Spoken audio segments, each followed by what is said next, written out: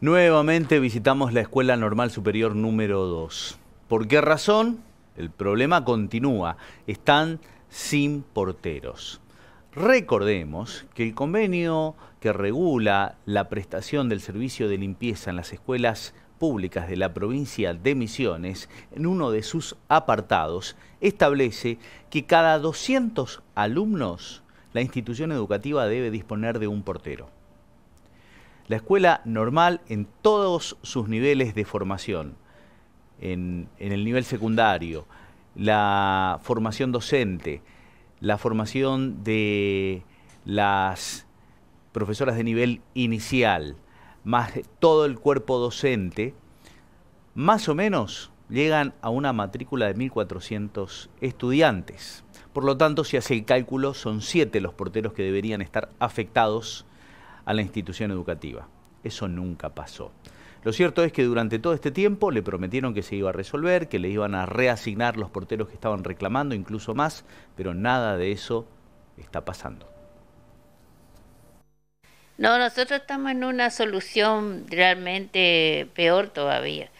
Eh, tenemos otra chica en escuela, de la escuela primaria que sacó licencia y esa licencia no está cubierta tampoco por el Consejo, así que en la primaria tenemos un solo portero.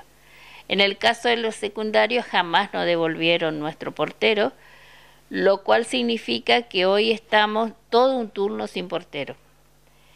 Por eso es un poco, los chicos vinieron a plantearme para seguir un poco la línea de fuerza, pero ustedes saben que también los chicos están con, sufriendo los paros que los docentes hacen porque tienen todo su derecho a hacerlo para poder reclamar todas las cuestiones económicas de su sueldo. Y entonces estamos atravesando nuevamente eso, más todo lo que ya persiguieron, prefiero que no lo hablé con ellos y bueno, le expresé que sería conveniente que esperemos un poquito.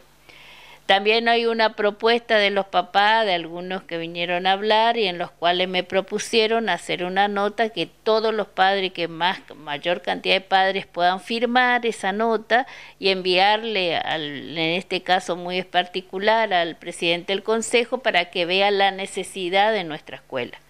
¿Qué pasa hoy en nuestra escuela al no tener ese portero? Muchas veces a la tarde el portero no puede limpiar y esos chicos tienen que soportar todo el olor porque ustedes se imaginan que esta no es una escuela tan chiquita como otras que tiene un alumno. Acá tenemos seis cantidades, es decir, seis cursos de primer año y seis cursos de segundo que están a la tarde.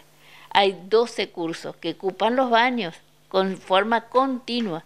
Tenés un promedio aproximadamente de 25 chicos o 30 en algunos casos que tienen que estar ahí adentro.